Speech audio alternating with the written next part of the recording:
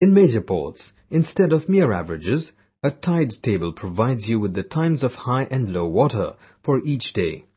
The most common one looks like this, with times and heights for 1 to 4 months.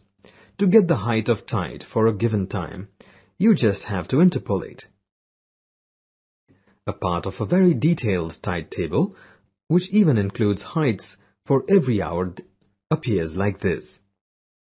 These tide tables are to be used in conjunction with the graph as shown which gives a more accurate prediction of height of tides.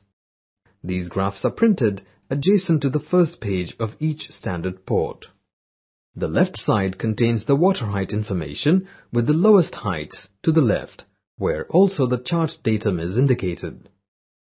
The low water height will be marked at the bottom and the high water height will be marked at the top.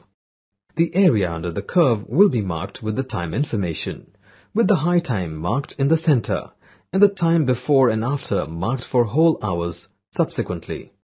To find the water height at a specific time, you will have to mark the range of tides on the left side by marking the low water height on the bottom side and high water height on the top line. And then join both these points to form a sloping line called tidal range line. Then you have to calculate the time difference to the nearest high water.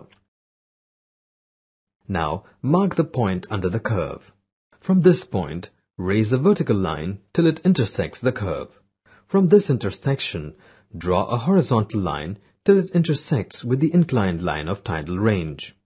Now, drop a vertical line to the baseline and read off the height in meters. This gives a more accurate prediction. Now, if you have to calculate a time of a particular height of tide, say to clear a bar in the channel, you mark the range of tide for the required time similarly as shown earlier. Now mark the height of tide required on the baseline.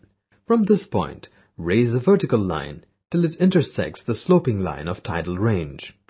From this intersection, draw a horizontal line to intersect the tidal graph at the required side. Now, from this intersection, drop a vertical line to the timeline and note the time. This is the time when the tide reaches the required height.